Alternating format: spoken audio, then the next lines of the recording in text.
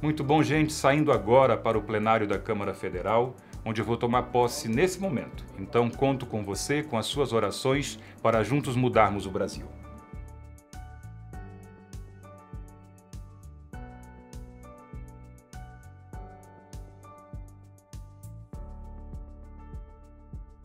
Meus amigos, meus irmãos do Pará, eu tenho uma palavra de gratidão completa hoje para todos os senhores e senhoras, por aqueles que nos acompanham, que nos acompanharam durante o nosso mandato.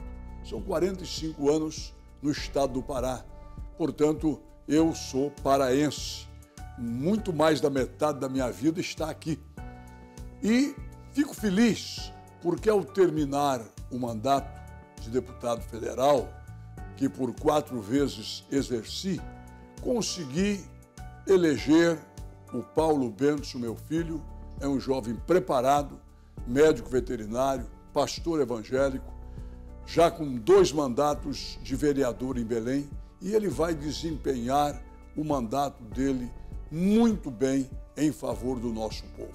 Que Deus abençoe a todos, eu agradeço e peço, vamos orar pelo Paulo Benson, vamos orar pelas autoridades do nosso Estado, vamos orar pelo presidente da República. Termino dizendo aquela frase bíblica tão conhecida: Feliz é a nação cujo Deus é o Senhor. Que Deus continue nos abençoando. Amém.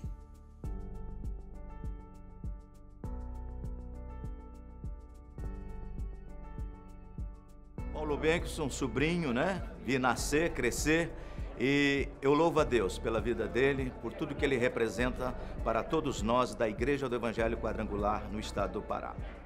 Hoje, a geração forte se sente representada quando você assume o seu mandato, pastor Paulo Benson, nosso querido deputado federal, levando à frente esse legado recebido por nosso líder, pastor Josué Benson. Que Deus te abençoe, te encha de unção e que você possa nos representar a cada dia pelo crescimento do Pará e do nosso Brasil. Dia feliz que é hoje, 1 de fevereiro, que a gente pode juntos aqui comemorar. Depois de tanta luta, tanto trabalho no estado do Pará todo, a concretização desse sonho. Como foi gostoso sonhar junto esse sonho de Paulo Benson, deputado federal. Parabéns, Paulo, por representar tão bem o Pará. Parabéns por representar tão bem o povo quadrangular.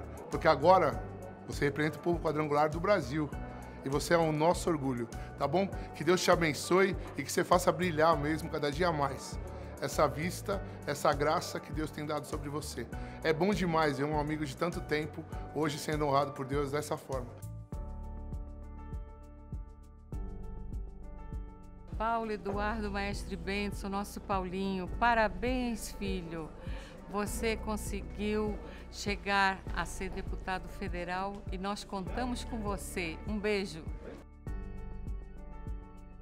Paulo Bengston, PTB.